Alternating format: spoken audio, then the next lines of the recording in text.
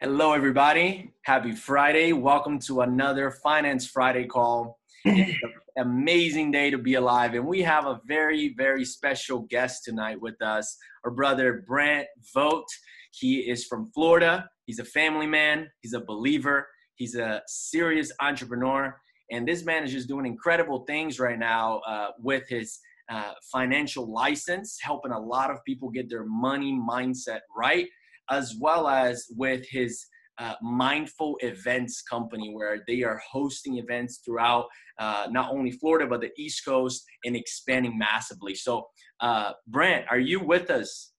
Yes sir. Amazing amazing. Well brant i'm super excited to have you here with us tonight and we have about four to five questions. We're going to dive into how you think and you know the success that you've been able to accomplish for yourself and also help a lot of other people accomplish. And uh, so before we do that i would love to pass the mic to you and maybe you can tell everyone that's here with us tonight and also uh, everyone else that will be watching this recording a little bit more about yourself from your seat you know tell, tell us a little bit of who you are a little bit of your upbringing and what you're doing right now and then we're, we're going to dive into some some questions well, first, uh, first of all, thank you and Nick. Can you guys hear me? Okay. Yes, sir. Perfect. Thank, thank you, Nick and Mike, for hosting such an amazing uh, weekly event, and I'm honored to be on the call. And uh, I hope that uh, everybody who leaves here this evening at least walks out with some shift, some transformation that they can uh, remember back to this call and God willing, in the future, I, I, get to meet you and you can remember a nugget here that, hey, I remember what you said there, and, and there was a little shift, and I implemented something that you said. I'm born and raised in Miami, Florida. My mom was born in Cuba. She came here when she was six, knew no English. Um, ended up getting married my dad, uh, who was uh, from Miami but of German Irish descent. So I grew up two languages, and um, I, I, got to see a lot of uh, uh different perspectives around that uh, just because I, I, grew up in a Cuban community looking more American. And then I went to college and I was more Hispanic than all the Americans there. So I've seen a lot of, uh, I got to just see two, two different worlds. So it was kind of cool to grow up like that. I grew up playing sports. Um, I, I, you know, I was baptized. I always believed in God. Thank God, and my grandmother and, my mother for always, uh, you know, I wasn't a church going person just because that's just how my family grew up. But they always instilled, uh, you know, uh, believing in Christ, and and um, so I always had that foundation. But I didn't really start following it uh, to about maybe uh, it was in my mid 30s. Um, but that was always at the core, and it's been amazing to kind of explore that even further uh, these days. I grew up playing sports, like I said, and, and when I remember when I was younger, uh, for some reason I call it a download. I had a download, I said, if I'm going to work, might as well love what I do. And shortly after that, I remember uh, watching. I was in the kitchen of my house and I saw some NBA player. Now this was in the '80s, so imagine my TV had some tinfoil on it, and I remember some NBA player getting some crazy contract for millions of dollars. So after playing baseball and football and uh, uh, uh, skateboarding my entire life, I said, you know what? I love basketball. You can make millions doing it. Gotta love what you do. I so I chose in that moment to be a basketball player. I was about 5'8", 135 pounds, so I had some work to do. So I played a bunch of ball. I ended up excelling in that and had an opportunity to play at, a small school uh, or get into a larger school for college. So I made that choice. So I went to college and then I, I was very I was sad that I made that decision. So there was some regret there. And there's a lesson there because you may have made a decision where there was some regret, but there's always a reason for that decision. You know, so in the moment you may feel that void, but there's always a lesson or something else to look for. So I began uh, with that mantra. Well, what can I do uh, that I'm going to love, that I'm going to have fun with? And I and I had always uh, loved music. I was a music collector. I had learned how to play the sax in uh, middle school, and then I decided to be a DJ. So um, so this was around the mid '90s, and I just I went all in and I just started practicing practices. So I actually practiced so much, made way, my way through college, graduated and said I wanted to be an entrepreneur, and I and I and I continued my DJ uh, music world in um, in uh, South Florida. Uh, they had a record label, DJ with a bunch of artists, and then uh, that ran its course. I started having a family. I you know I've been ten years working really hard in that industry, and I was working six nights a week. And if you guys have ever learned about the cash flow quadrant uh, by Kiyosaki, I was in the lower left hand column. So I was a self employed individual. That means I was working six nights a week. But if I didn't work, I didn't get paid. And I, uh, I had already had a college degree. I got a business degree, and I really only went to college just to be the first one to graduate, kind of get it done. We were talking the other night. I didn't. I chose like four or five majors, and I was really just hurting throughout the process because I didn't know what I wanted, and it seemed like everybody else did. All I just remember is, uh, you know, roommates and friends, and I want to be an accountant. I want to be a CPA. I want to be a doctor. I mean, my career path was not on the menu that they fed me. And because the, my career path was not on the menu that they were feeding me, and I thought that I had to be that person, I felt a void. And then something hit me, and I remember there was just one of those other moments. I said, "Hold on, it's not, it's okay not to figure out what I want in this moment, but why don't I just start crossing out what I don't want? I try this, it's not for me, change the major. Not for me, change the major. And then by the time I said, you know what, I got a few classes left to finish a marketing degree. I graduated, that was it. And then um, to sum things up, as I was uh, in my DJ career, I started getting my licenses in financial services as a backup plan. You always hear having multiple streams of income. I looked at as a back tire, a spare tire in my car, but a spare tire in my career. So I started getting my licenses in the financial services industry as a backup plan. And so I started as I was working six nights a week in the music world, um, and that started to fade away. I started getting sick and tired of music. I was sick, sick working six nights a week. My wife was like, "Listen, you know, if you want to have a family, you got to make some changes. All my friends that used to go out and hang, they were no longer there anymore. So I said, you know what, let me check out this financial thing. I have all my licenses. I've been practicing and learning it for a while. Uh, everybody I knew that was working was very successful. So literally, I started uh, dissolving my music. You know, I didn't quit right away. I started dissolving it as I started working uh, the financial world. And simultaneously, I was selling records on on eBay. You guys were talking earlier about Amazon, so I was a big time eBay seller. All my extra vinyl and CDs. I was I was doing whatever I could, you know. And um, my final job uh, was I was working at Chase back in the days, and the only reason I got the job at Chase is because I wanted to buy a house. And I remember um, being a college graduate, all these licenses, a DJ career, and uh, that, that was about to, to, to really explode in Miami. And I remember some young guys have the biggest smiles on their face, biggest smiles on their face. They would they would come into the bank, uh, and they would just deposit checks all day long and then leave, and then come back and I go, "What do you guys do?" And they were they only spoke Spanish, and they go, "We we buy and sell perfume." And they were and I was, they were buying and selling perfume, making more money than me. And I said, you know what, I'm done. And I made one of the uh, craziest decisions. I quit the bank and then told my wife afterwards. So um, and then like and then this is i'm telling some stories because you know there's we're all going to deal with adversity so when i when i quit the bank i said i'm going to take this dj career on and i'm kind of going back and forth obviously i can try to be as linear as possible but moments come back that are great lessons and i was said i'm going to i'm going to go be an internet guy this was in the this was probably in 2002 2003 i'm going to be an internet guy i'm going to i visualize a laptop on the beach i'm going to sell records so i remember listing all of these records and CDs, and I'm talking about real vinyl records and CDs on eBay. And I, we were going on a beach vacation, and I had just quit my job, and my wife's like, "Listen." She was not happy. I told her afterwards, so that's another lesson. Tell your wife before your spouse that you're going to do something. But um, so I, I, I, she, you know, so I said, just make it happen. So I just, I just started listing records and listing records and listing records because I was waiting for my DJ career to pop off. And then I listed probably a hundred pieces of, of uh, uh, online, and they take they took about a week to sell. And I remember being on the beach, and um, while I was on the beach, after I listed all these records, I you know I figured when I got back home from vacation, man, all of these records would have been sold, and um, you know I made my money. So I remember one day on the beach, I go upstairs to check all my listings that I was selling online, and they were all taken off. So I literally quit my job, did all these listings, and eBay had yanked them down because one of my listings was a promotional record. So here I am, entrepreneur, married, a mortgage. I'm about, you know, this is easy stuff, and I get jacked in the face. So, you know, there, so there was a blessing there. One of my favorite uh, quotes is from uh, Napoleon Hill Every adversity, every heartache, every fra- failure carries within it the seed of an equivalent or greater benefit. Another one of my uh, favorite quotes is uh, Wisdom is the instantaneous recognition that a crisis is a blessing. And that's from John Demartini. A breakdown leads to a, a breakthrough. A setback leads, uh, you know, setup, a, set, a setback leads to a setup to a comeback. So I've developed all of these things. And so when a crap does happen, I already have these brain patterns that I'm going to move forward. So bottom line, uh, finished DJ career. I started taking off in, in the financial business. And once again, my first year in the financial business was in 2008.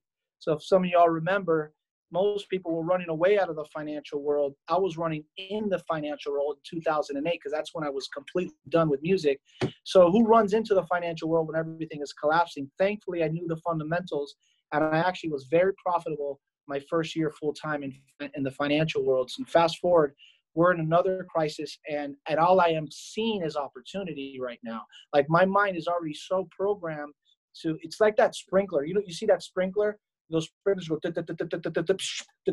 like we can waver get distracted with i mean just facebook the last couple days and i mean just everything is going off the charts but i'm back to my source back to my thinking back to like a crisis is, is a blessing and i get to program my brain and look for that so what i do right now for a living just to sum things up is um I help people with their finances. You know, we go to school, you know, get good grades, get a good job, get a career, figure out money, go to work, go to work, go to work, go to work, try to manage your money and then die, right? So I didn't want to live that. So what I do is we don't learn about money in school. So I basically work with middle class families. Uh, I help them uh, understand money both logically, psychologically, help them create good habits. Um, you know, we have husbands and wives, and you know, our, I tend to work with a lot of couples. Um, I'm, I'm, excited about this group. There's a lot of young individuals that could catch these uh, these concepts early on because uh, you know going into a, a, a marriage or uh, a relationship with two different money consciousness consciousness right there's always going to be conflict you know so for the first time when i sit down with somebody and, and, couples they get to look at me and not look at each other around their finances because there's no right or wrong they just both came up with different programming so we got to create now in two different worlds so i try to create one world mitigate that so when i'm in front of people financially it's not really about money it's really what does money do to people? You know, it causes divorce rate. It causes multiple parents working and not seeing their kids and their kids in daycare. Money causes stress. Stress causes illnesses, you know. So so it's it's bigger, you know. So my goal is to get the message out there, not only on on the money side of things, but really uh, the you know I'm so thankful to to to had, had taken class after class was done on the personal development world, which was reading books, being on amazing podcasts like that. So I just tried to take 15 years in about 15 minutes or so. So amazing. No, no, thank you, thank you, Brant. I, I, unbelievable value there already that I'm taking from that. You know, I, I think it, at the very beginning you were mentioning about the decisions, right, and how uh, we a lot of times regret them, but they really played a role at the time for who you are now. And there's actually a a, phrase that one of my mentors told me as well that that's in alignment with that. He's, you know, I asked him one time, um, how do I know between two options if they both seem pretty good? How do I know which one I need to take? And wow. he, he said to me, uh, what if there was no right or wrong option? What if there was just a choice? And the moment you made the choice, it became the right one. And wow. that rocked my world, right? Because of that right. thinking right there. And so thank you for giving us a little synopsis of, you know, a uh, uh, big picture view of, of your experience. And one of the things that, that stood out for me as well was the, uh, the preparing mentality, right? You were saying you got you get back to your source, um, especially like you said with everything going on. If we are not thinking for ourselves, we are just responding to everything that's happening around us, and that's huge. So my first question to you, Brant, I want to dive in a little deeper on something that we spoke about yesterday, right? So let's talk a little bit more about our, our money story, right? The story that we have in our own minds uh, about money. Can you, can we dive in a little bit more for the next three to five minutes and, that, and then we're going to pass it to Mike? Yes. Um, so we have 60,000 to 80,000 thoughts every single day. Uh, I would check out Dr. Joe Dispenza on that. Um, and 90% of these thoughts, be, and this is all because of brain scan, nine, six, these 60 to 80,000 thoughts 90% are negative and 90% are a repeat of yesterday okay? So and those thoughts come in in, in, in, in the really words and visions and pictures and, and and so if if we're trying to program a future and we're and, and, and we're constantly programming a future yet we're battling these 60 to 80 80,000 thoughts just in this call alone everybody will have two to 3,000 thoughts. Luckily you're hearing some positive words that'll displace and some education. So, so those words and pictures are really um, our story, and they're repetitive. For example, I grew up. Uh, my parents, my mom passed away with credit card debt, and these creditors were hounding my dad. And um, you know, my grandparents, I saw them because of me getting into the financial industry, and I saw them have you know go bankrupt because they were old. So I grew up watching this and not know, oh, knowing that. And, and I grew up credit card rich. As a matter of fact, I would hear my mom always say, put it on the card, put it on the card, put it on the card. I remember one day we were in the mall and Burdines was over there and the jeans that I wanted were over there. And they were the same price as the jeans at J.C. Penney over there. And I didn't get why my mom didn't take me to Burdines, right? Now, you know, mind you, I got a first world freaking problem, right? But, but I went to J.C. Penney and and to get you know jeans I didn't want because that's where my mom had a credit card. So so the first day on campus of college, and I got there was you know sign up for a free T-shirt, a towel, whatever, and get a credit card. So I just started inheriting those traits because I had never identified my money story. So one of the I'm going to give you two tools to start to identify your money story. First, you got to be able to observe. Like I was able to catch that my I heard my mom saying, "Put it on the card." And I, I would have, so one of, so one, how did I do that? Is asking myself a question. You know, if you've listened to Tony Robbins, it says the quality of your life leads to the comes from the quality of the questions you ask yourself. You know, in sales, we get trained to ask people questions, but we don't take the time to ask ourselves a question. It could be as simple as, when was the first time I got into debt? And then an image comes up, and you start going from there. Well, what did I do? Why did I do that? Or when was the first time that I didn't pay a debt? Or when was the first time that i heard my parents get into credit card debt? Or what was the first time that i heard of my parents argue about money right? So you there's a lot of introspection. You know trauma is a big deal. It's something i've been studying for, for recently more so than ever. And a trauma could be something very horrific like you know you know things i don't even want to discuss um, to to you tripped and fall in the cl- in, in the lunchroom and somebody made fun of you you know? So trauma it doesn't make a difference. It creates part of the story. And if you don't start looking at past moments and peeling back the onion the same thing will begin to repeat itself because you, you have to be able to see it observe it. And once you see it and observe it then you're able to create a new canvas. Does that make sense? So so identification of the story is the first way to recreate the story That's wow. Good. That is huge. Um, I'm taking notes. People, 90%, if you're not writing it down, it's going to go out the door, right? Uh, we have a great guest. Um, I'm getting so much value and, and, the knowledge. It's so fun to, to have speakers like you who fire from the hip because in your introduction, you started just answering all my questions. And I'm over here like, oh, wait, wait, wait a minute, wait a minute. I got questions. Um, but that's awesome, man. I, I, I appreciate the way that you just take a hold of the situation. It's um, from what I've seen in my life, it's one of the biggest signs of people who can take control of their lives. Right? If you can take control of the situation in a lot of different situations, it, it primes you to take control over your own life and the direction that it's going. Um, I got a question for you, man. You're you're clearly you got the success, you got the posture, you got the speaking. Um, what was the turning point in your career right? We heard a little bit about your story and some of the different things that you were going through. I i feel like i'm noticing this trend where people start to see success and then something happens right? Almost the same way that a race car hits nos right? People start to experience a little bit success and then they turn it on right? And there's a switch goes off in their mind they start to view money differently. They start to get involved in different investments and they go from that we're we're even to like now we're way up right? What was that turning point for you in your own life and your own experience where you had that shift of all right now we're making good money to like now my wife is is good to leave and and and the house is good and the kids are good and we are good. What what was that shift for you? Thank you. Um so there's a couple so when I transitioned, um, and they're both important because they, they they're all uh, modalities or things that can be integrated, and and I want to share the, all of them because some may land on different people differently. The first one was when I was shifting out of the music world and going to financial world. So some of you guys may be thinking of of changing careers, and I was not passionate about the financial world.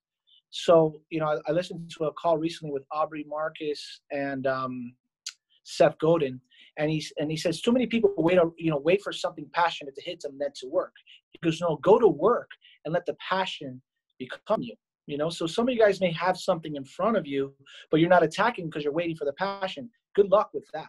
So um, you know, desperation hit me. You know, I was I was walking away from an industry. I was making over six figures on my tax return in the mid 2000s for just music alone. So walking into something where I had you know very little experience, uh, I had to get moving. So fear was a big moving point.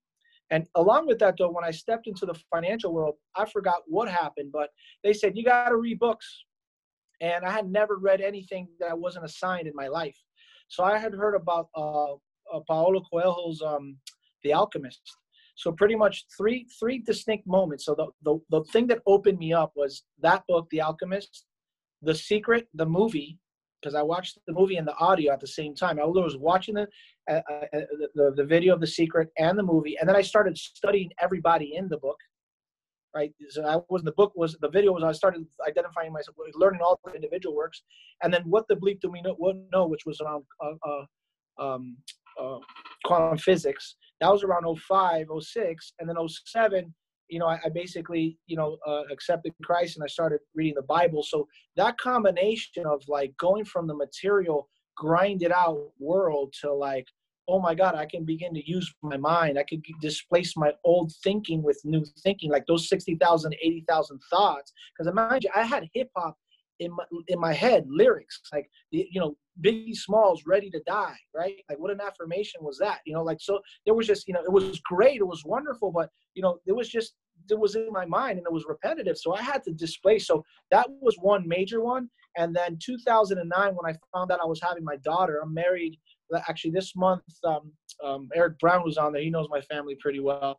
Um, we just celebrated 25 years together. I have a 10 year old and a three year old. She just turned 10 and uh, 18 years married. And we were having our first berry, uh, uh, uh, uh, baby. And I remember reading a book by John Assaraf, who I found in The Secret, who's known for his uh, vision boards. About I read his book. Um, um, oh, I'm drawing a blank. Is it up here? Um, the the answer. It was the answer. And in that book, I learned all about meditation. So when I started learning how to meditate, and by the way, meditation, the definition uh, is to become familiar with. That's another topic. So let's become familiar with those 80,000 thoughts.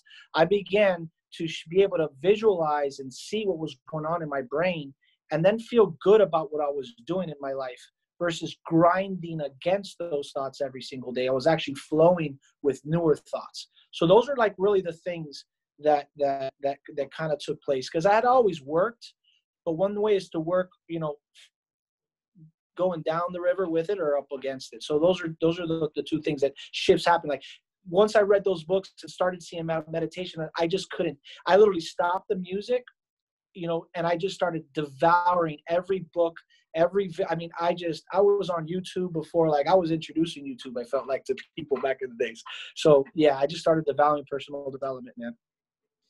That's incredible. Yeah, I, I am finding a lot of uh, similarities also in my beginning, you know, journey as well. Uh, I'm 26, you know, so I'm a little bit behind experience wise, but I, I can relate a lot you, with that. You started earlier than me, brother. I wish, you know, you know, coulda, woulda, shoulda, but everybody's on their own uh, journey. So that's right. Amen. Yeah, and and I would love to dive in a little bit on one of the things that you mentioned tonight uh, or you just mentioned, which was when you found Christ, right? This call is not geared towards our um, spiritual call, right? That we do that on Sundays. However, I want to uh, just ask you, um, you know, because it sounds like you made a huge shift from the grinding phase, like you were saying, and obviously you still have that that entrepreneurial spirit in you, and you're working actively. Uh, you're in the trenches. However, you became more of a spiritual person working right? You weren't just in the world. So can you can you tell us a little bit about that? Because i think uh, all of us have that in common. We have huge goals. We're working towards them actively uh, but we're all also eager to build our spiritual life and not just be in the world. Do you mind sharing a little bit of how the two can go together? Yes. Funny enough i was at a business meeting where it was optional worship an hour before. So i had gone with my wife and i was already feeling the nudge and you know i had always prayed and but i didn't have any community around it or i didn't have any plan. So i was uh, i went to the optional worship and it was it was a very simple moment. I was it was in a theater style and um, they, they they they were um, you know there was a somewhat of a service and um, you know the the gentleman leaving the service basically said you know uh, if anybody wants to, uh, my eyes were closed, and, and if anybody wants to come up and accept the Bible and accept Jesus Christ, uh, just feel free to come up. And I remember being fear, like like I didn't want to get up, my eyes were closed, and I kind of, uh, you know, but I've been looking, and then my, I asked my wife like, "What do you think?" And she goes, "You know, she had been raised Catholic, I was not, um, and she's like, just yes, you've, you've been just I remember exactly the words, but you've been wanting to do something. You've been asking. This is the this is the moment. So I literally walked up, and you know I remember hugging. Uh, his name was Guy Shishadi. He gave me my first Bible, and and I remember this just like weight, you know, coming off me, uh, and it felt so good, and there was tears, and and and uh, you know that was just the beginning. Um, actually, um, uh, so so I'm actually getting mentored by my pastor once a week now. Uh, so many times, even today, you know, I had a very successful day in business today, and and it was like do or die, and it was like some things that I wanted to land. And I remember saying, "Listen, God, if this is not for me, then then it's okay," because it was there was a big commission involved what I was going on with. If it's not for me, that's okay. I'm sure something else will show up. And I, and and and we were talking about rest. So literally, I was up early, and then I was supposed to go to work, and I said, "You know what? I'm tired." And I didn't know how I was going to handle the approach. So I literally went back to my bed today around nine, and I, and and, and my wife kind of knew, and I just was going to go meditate, pray, and then work it out. So I was literally praying in and out of a sleep, and and just kind of working out like how I was going to approach this deal. And and I finally like it was like, and I was just praying, working out the deal. I got up, and four or five things happened that were not even on my list and it's almost like god thank you because i guess you wanted me to do this. So you know with the 60 80000 thoughts that's 60 to 80000 uh, you know like there's a squirrel there's a squirrel there's a squirrel there's a squirrel right? There's got to be some sort of source right? Like that sprinkler that sprinkler so i think of that sprinkler i always want to come back to the source as many moments throughout the day as possible. Praying can you know it's not in morning and evening as often as you can. So yes Love it. That is beautiful. Um, you know, I know in in my own walk, you know, I I'm learning to only speak for me. Um, in my own walk, that ability to be present and and and your your meditation. I'm so interested in that conversation and and your ability to plug in. Um, one thing that I've noticed at 28 going on 29 is especially with my faith like i get to lean on it in the hard times when like i don't know how to make a way right? And then all of a sudden a way is made right? If it's meant to be like a way every single time i've been up in the air a path has presented itself. And if the path didn't present itself i was forced to go another way and over here was everything that i didn't even know um, and it's this crazy, beautiful um, dance that we have with the source. Um, it's amazing. It's a dance. Dance it is. Yeah, that's beautiful. I appreciate you sharing that story. Um, I would like to before, tap in. Before we continue, um, as I think of some books or authors, what I'm going to do is I'm just going to write them down here, um, just because my current book that I'm reading, um, Celebration. Excuse my handwriting. You know what? Let me do this uh, real quick. Sorry for the interruption. You're all good, brother. Celebration of Discipline by Foster. I had hmm. this book on my desk for five years, and then um, recently Ben Green, uh, Ben Greenfield, uh, the super trainer, read it, and uh, this is blowing my mind. It's helped me have a great year amidst uh, all the craziness. So, um, and it's really helpful with the morning routine. It talks about Christian meditation it's yeah. pretty cool. Go it's awesome. And you know what's beautiful about your interruption is it's exactly in congruency with what my question was, which is what are let's say the top three like you're you're disciplined man you start your morning you win the morning you win the day i can feel it in your in your entire existence that you have habits in the morning what would you say are your top three habits that you think are directly correlating to your success in life and your ability to tack on um, the things that you go through on a daily basis what are those you know top things that like yo we got to get this done in the morning before i even approach another human being uh perfect thank you for asking um so i'll just kind of run through my routine real quick And, you know so and, and I, I wish I did this every single day. I try and do something every. I do something every single morning. Something where I breathe. So so so I'll just walk you through it. I wake up and um, I use the restroom. And this is an ideal day. It doesn't have it perfect. I have daughters jumping in my bed. Sometimes I gotta grab my my daughter so my wife can sleep in a little bit more. You know, I miss the alarm clock or whatever. Something happens. You know, first thing I don't turn on my phone until I feel like it. That's number one. It's on airplane mode until I don't go until like I don't put my phone on at least until an hour usually. So the most important thing that I've learned is to have a sanctuary or a sacred space, a place that you could get up, use the bathroom, and go. And I have two go places in my garage. I have a, a place where I, you know, it's a it's a it's a meditation mat, you know, or just a mat where I can sit back comfortable, and I don't have to. I don't want to think. I don't want to start thinking. So how quickly can I get up and not think? right? I want to get up and do nothing, not get up and do something. I got there was a quote I can't I, I, I, can't find way to find the person who says if you can't do nothing right, how can you do anything right? So I want to get up and go do nothing. And what I mean by nothing is I just go and breathe. Okay. And I and I'm back and forth now between the Wim Hof method of breath work, which is kind of similar to Tony Robbins. What I've you know I've seen him do is um, or I'll just go into a meditation using some uh, solfeggio scale frequency. I go, I kind of go to the 520 hertz, 28 hertz, and I put in headphones, and um, and and I and I make sure that that I don't have any uh, interference, uh, cellular interference. So I don't want any cellular interference uh, interfering, you know, those waves interfering the waves that I do want. In an ideal morning, I'll sit there for about 40 minutes, and I've gone 120, and and um and I'm more committed to that since listening to Joe Dispenza. and what happens is I, I allow those thoughts to dissipate, you know, because what happens is they're running so quickly. And then the more I meditate, they slow down, they slow down, and then you can reach what's called a meditative state, which there is no thought. Um, and truthfully, what happens is I, I use the meditation as a tool to have a connection with, with God. And and because if I could get those thoughts out of the way, then I can ask him questions. He, he can ask me questions. So much so I've had a couple I've had encounters which you know I I know that it was the Holy Spirit and I wasn't even trying to pray. It's almost he came to me. He was in my in my third eye in my mind and it was it was undeniable one of the most beautiful feelings I had and it took a lot of practice but I've had that moment four or five times and it, it was almost like Christ was revealed to me. It's difficult to explain. I'm very confident in sharing with this um, but um, it doesn't happen all the time.